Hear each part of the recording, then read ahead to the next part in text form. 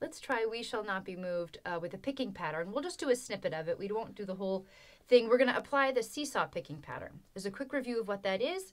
Uh, I've got a low G, so I'm going to start with my low G string here with my thumb, C with my thumb, uh, index and ring, or sorry, index and middle on my E and A together at the same time, back to C and back to G. Just constantly going back and forth there. One and so each chord is two seesaws. When you get a split bar, you'll have one seesaw per chord.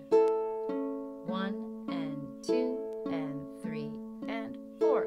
And now you may not be a three finger picker like I am, so feel free to adjust. You can do two fingers or four fingers. Up to you. If you've got the high G, you might still like the sound of this, and that's great. It won't have the same um, sound of going from the low part of the chord to the high part, but it still is a great pattern to use, and if you enjoy it, go for it. If you do want to stick to that low to high seesaw feel, I would recommend going with your C string, E string, A string, E string, C. So just leave the G out of it. Same pattern. One and two and three and four. And same thing. Right. So take a little moment to figure out, kind of get your bearings, how which way you want to approach it.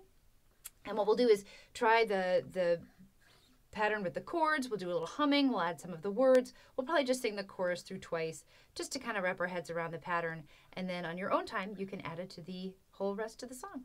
Here we go.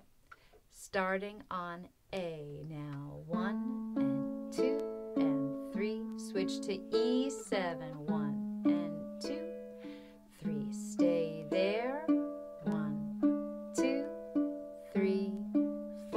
To D to A, back to D, one, two, three, four, to A, F sharp minor, E7,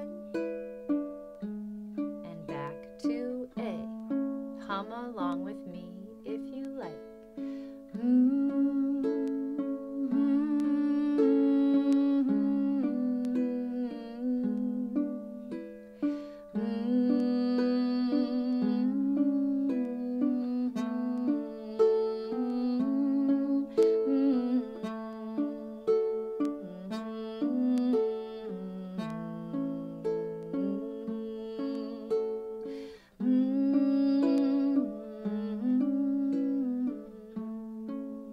Let's add some words.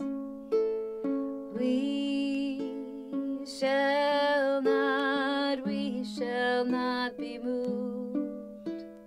We shall not, we shall not be moved like a tree that's planted by the water.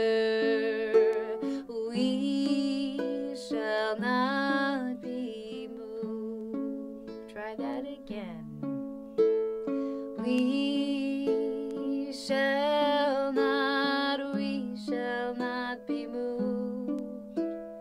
We shall not, we shall not be moved like a tree that's planted by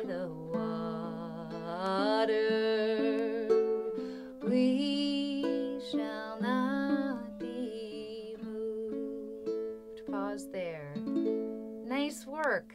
I always take these picking patterns in smaller snippets because there's a lot I'm thinking about all at once. Um, but feel free as you get comfortable with it and you play with me a couple times, play on your own a few times. Uh, try the whole song, the whole song chart, um, playing it all the way through, or play along with the uh, with the play along video, right, with the um, picking pattern, or play along with the Mavis Staples arrangement. I've set it up so that the song chart follows her recording. Give that a try as well and see how that feels. Enjoy your practice.